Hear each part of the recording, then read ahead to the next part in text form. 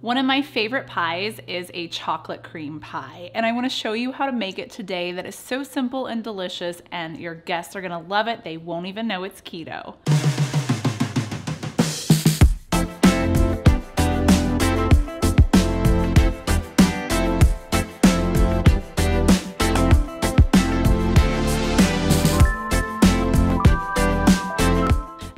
Keto chocolate cream pie is gonna have three different layers to it. Our crust is going to be a chocolate, almost like a graham cracker type crust, even though there's no wheat or flour or anything like that or graham crackers in it. The filling is a delicious, smooth and creamy chocolate filling. And then we're gonna top that with some keto whipped cream on top, as well as some sugar-free shaved chocolate. To mix up the pie crust, I'm gonna add everything into a food processor. I just think it really gets it all nice and crumbly. If you don't have a food processor, just mix it all together with a fork because we are gonna be using some chilled butter. So in your food processor, you're gonna add one and a quarter cups of almond flour, three tablespoons of coconut flour. And for a hint of sweetness and that chocolate flavor, I'm gonna be using some Cacao Bliss by Earth Echo. I love baking with this just because it has a unique taste to it. It has cinnamon in it, turmeric in it, um, a bunch of different superfoods like MCT, Himalayan salt, and plus it's made from raw cacao powder. So it provides just this delicious, unique chocolate flavor. So I'm gonna be using this, a quarter cup is gonna go into my crust. If you don't want to use Cacao Bliss, you could just use regular cocoa powder, but make sure you add just like another tablespoon or so of sugar-free sweetener. This video is sponsored by Earth Echo, who makes Cacao Bliss. I love a Cacao Bliss. I use it in a lot of my baked goods that call for chocolate, as well as I actually put a scoop inside my coffee every afternoon. It's the perfect treat. If you guys are interested in Cacao Bliss, make sure you click down below. I'll have a special code for you. For our crust, we're also gonna need a half a teaspoon of baking powder, a half a teaspoon of xanthan gum, a quarter teaspoon of salt, three tablespoons of unsalted butter that's chilled, and it's important that you do chill it just because if it's too soft, that butter is gonna melt when the pie crust bakes and it won't be just quite as like airy or, cr or crispy as it should be. And you'll also need one teaspoon of vanilla. Pulse that together until everything is combined and you get these like coarse crumbles. And now it's time to press it into our pie pan.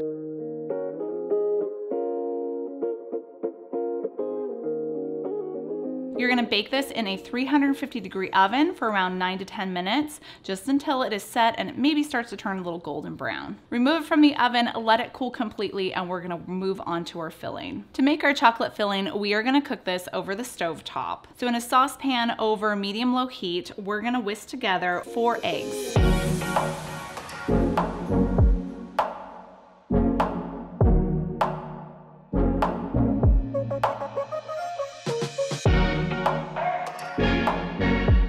One cup of powdered sweetener of your choice. You could use a monk fruit blend or just straight erythritol. You wanna stir this constantly and cook it until it reaches a temperature of around like 150 to 160 degrees. You don't want your eggs to curdle, so just cook it until it starts to thicken or coats the back of a spoon and remove it right away.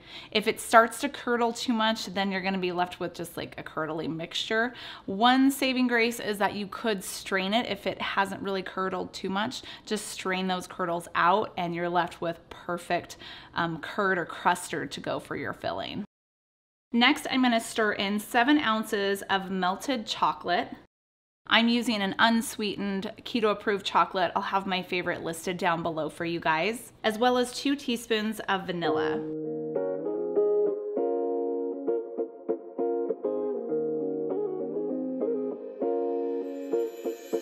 You could also add in some more cacao bliss at this point if you really want some cocoa and just a hint of cinnamon flavor in your filling.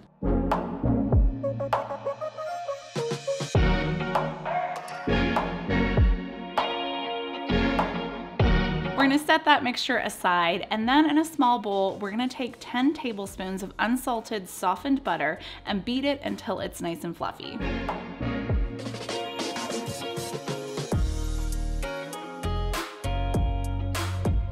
Then slowly pour in your chocolate mixture and continue to mix that until it's light and fluffy. It'll take around four to five minutes.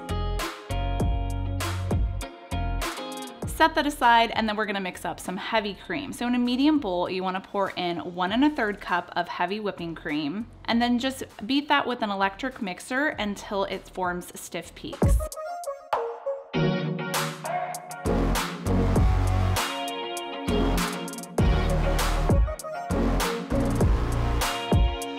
Working with a little bit of your whipped cream at a time, just take a little spoonful, add it into your chocolate mixture and fold it in. You wanna carefully fold it in just to keep the integrity and the light and fluffiness of the batter. When everything's incorporated, you wanna pour it on top of your pie crust and then we're gonna put it in the refrigerator for around six hours or you can go overnight. Once your pie is done chilling, it's time to make the topping. So this is a great make ahead keto dessert recipe where you can make that part ahead and then just save this last part until the day you wanna serve it, just so it's just really nice and pretty on top. So our final topping is going to be a whipped cream topping. So in a medium bowl, you're gonna add in one cup of heavy whipping cream, Along with just a little bit of sweetness, we're gonna add two tablespoons of sugar-free sweetener of your choice, and then one teaspoon of vanilla. You're gonna mix this up until stiff peaks form, and then just lob that on top of your chocolate cream pie.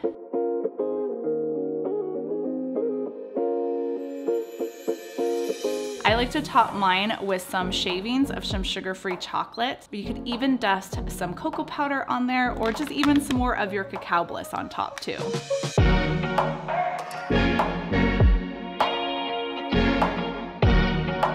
Make sure you store this pie in the refrigerator when you're not enjoying it.